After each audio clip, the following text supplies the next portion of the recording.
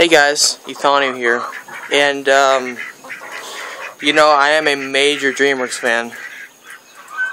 And uh, by the way, if you've if you haven't seen my Kung Fu Panda 3 review, recommend you go check it out. So, as you all know, some of you who don't know, DreamWorks is coming up with a new movie called Trolls. And it um it's it's it's not coming out till November. It's such a long wait. And that movie looks super awesome. It's kind of like a home thing. Home is an amazing movie too. Um, also, I have to ask you a question. Do you want me to do the top 10 best movies of 2014 or the worst movies of 2014? Got a lot of stuff planned, so yeah, I got a lot of catch up on. So just asking. Also, um, if you haven't seen the first trailer yet, it is really awesome. So these are my personal thoughts on Trolls.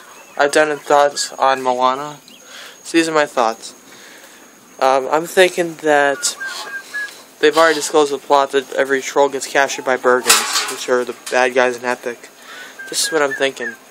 Uh, Branch, they're going to reveal Branch's life story how he met Poppy, and then they're gonna they're probably gonna have Branch and Poppy fight a little, and then Branch kind of gets angry. Uh, I don't want to disclose too much of the movie. This might be right, and I'm also thinking at the end they might get married, or you know, that's that's what I'd like to see. Trolls looks like an amazing movie. I've only seen one clip of it, Cloud Guy. That one was funny.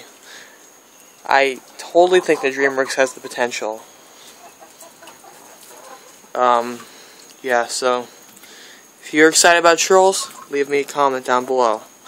And funny, Moana's coming out 20 days after this movie's release. It's kind of a coincidence. Anyway, what are some of your thoughts on the on this movie? These are just my thoughts. I'll respect your thoughts. So, just, um, and memorize those Psalms. Those Psalms are good. They're amazing. So, leave me a comment down. If you memorize the Psalms, leave me a comment down. Tell me what you thought of my Psalm videos. And if you memorize those Psalms. So, take care, guys. And, um, I do recommend you go watch the Trolls trailer. It's amazing. And again, memorize those Psalms. So, remember, keep it plain simple, guys. Ethonio out.